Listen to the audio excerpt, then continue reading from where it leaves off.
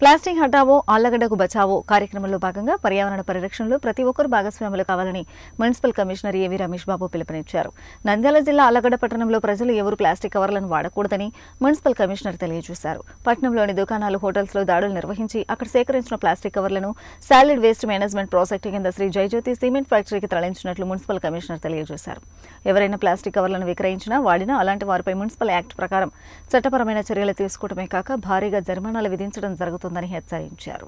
మన national green tribunal వారి ఆదేశాల మేరకు మన ప్రభుత్వం యొక్క ఆదేశాల మేరకు మా డైరెక్టర్ గారి ఆదేశాల మేరకు ఆళ్ళగడ్డ పట్టణంలో దాదాపుగా ఎనిమిది వందల కేజీల ప్లాస్టిక్ని మేము సీజ్ చేసేసి దాన్ని సిమెంట్ ఫ్యాక్టరీ జయజ్యోతి సిమెంట్ ఫ్యాక్టరీకి ప్రభుత్వం గవర్నమెంట్ ఒక కొన్ని మున్సిపాలిటీని ఒక్కొక్క సిమెంట్ ఫ్యాక్టరీకి టైప్ చేయడం జరిగింది.